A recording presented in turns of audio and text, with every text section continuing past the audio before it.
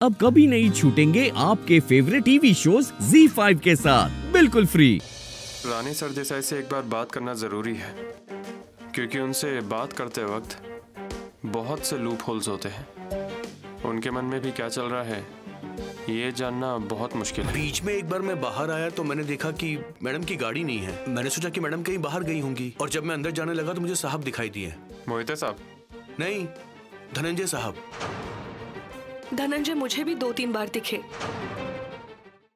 Z5 app download करें और देखें सारे एपिसोड्स बिल्कुल फ्री